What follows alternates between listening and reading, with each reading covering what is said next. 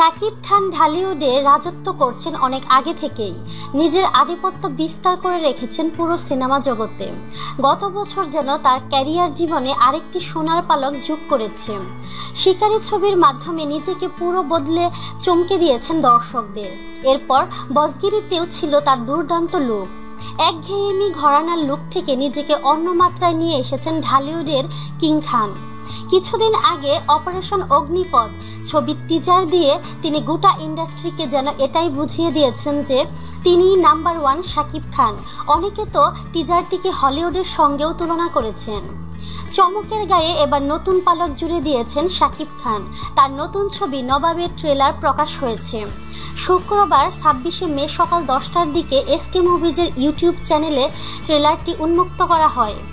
নবাবের ট্রেলারে বেশ চমকপদ রূপে হাজির হয়েছেন শাকিব খান।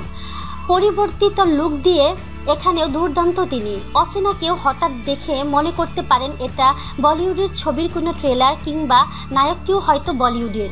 কিন্তু না, এটা ঢালিউডের সুপারস্টার শাকিব খান।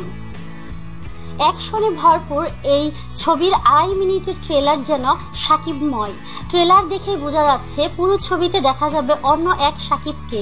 পিস্তল হাতে যেমন লড়াই করতে দেখা গেছে, তেমনি শুভশ্রীর সঙ্গে রোমান্সেও মজেছেন এই হিরো।